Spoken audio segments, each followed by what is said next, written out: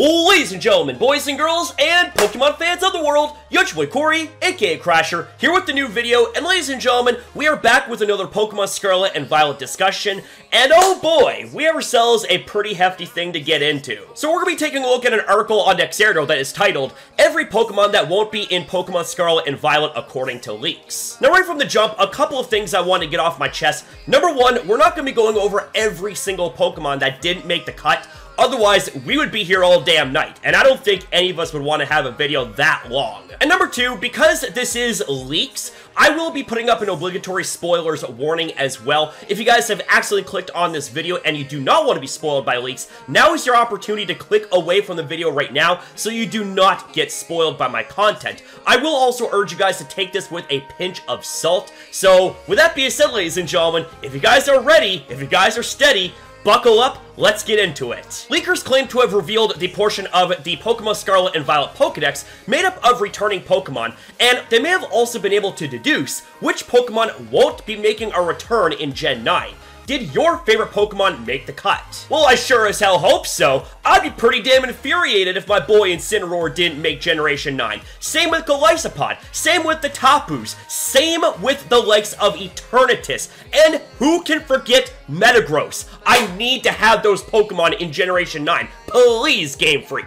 Do not deny your boy! On October 8th, Pokemon leaker Riddler posted a mysterious bit of information regarding Pokemon Scarlet and Violet's Pokedex. It was later revealed the game would contain 400 Pokemon, 103 of which would be brand new species, leaving 297 to be returning Pokemon. They also posted an image seemingly containing the 297 Pokemon that we've already come to know and love, and the Pokemon code cracking server on Discord worked to decipher the image. Okay, so the game is going to be containing 400 Pokemon in the Pokedex. Just to kind of put things into perspective for a moment here, Generation 9, we have over 1,000 Pokemon introduced, and 60% of those Pokemon are not going to be in the game. Like, that is actually a pretty huge number to cut out. Khu revealed that there would be 40 plus Pokemon not in the regional Pokedex, but that could still be transferred over via Pokemon Home. So, as it stands, players can have 442 different species of Pokemon in Pokemon Scarlet and Violet, according to leaks. And here are the 500 plus that reportedly haven't made the cut. According to Makio and J Roses, there are 563 Pokemon that have been cut from the Pokemon Scarlet and Violet Dex. These cannot be transferred over via home, but may return in DLC, similar to Pokemon that were cut from Sword and Shield's base game. That is a lot of Pokemon cut from Pokemon Scarlet and Violet. I'm just saying, holy shit. Now, like I said earlier, we're not going to be going over all of the Pokemon that didn't make the cut for Generation 9. However, I wanted to showcase this right here.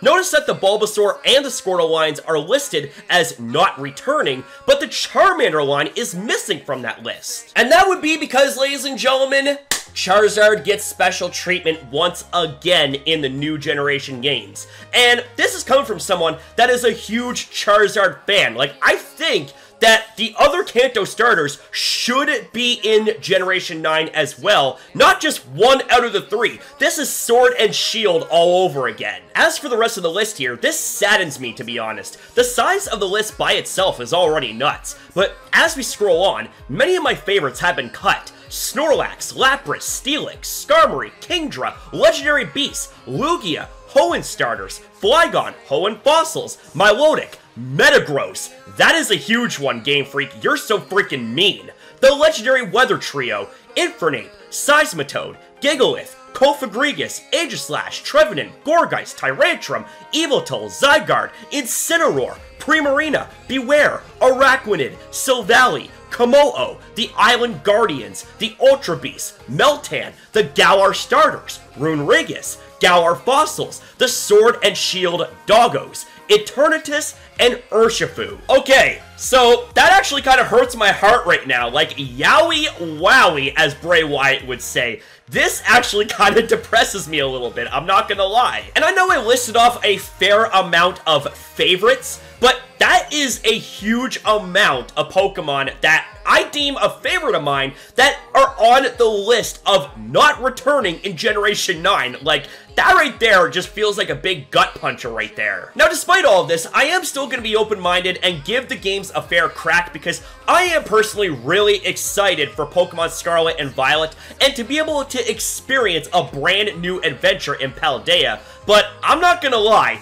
this is going to be living rent-free in my head for a pretty damn long time. So what are your guys' thoughts and opinions about what we discussed here in this video, and what Pokemon that are favorites of yours happen to have made the dreaded list of Pokemon not returning in Generation 9. Leave your feedback in the comments down below, ladies and gentlemen. You know your boy always loves to hear you beautiful people out. And that's going to be a wrap up for the video, ladies and gentlemen. So I want to say thank you guys very much for watching. If you guys enjoyed, consider liking and subscribing, and especially comment your thoughts down below, because I love hearing from you guys. Always have. That will never ever change. So thank you guys again for watching. Have yourself a fantastic day, or night depending on your time zone, and I'll see you guys in the next one.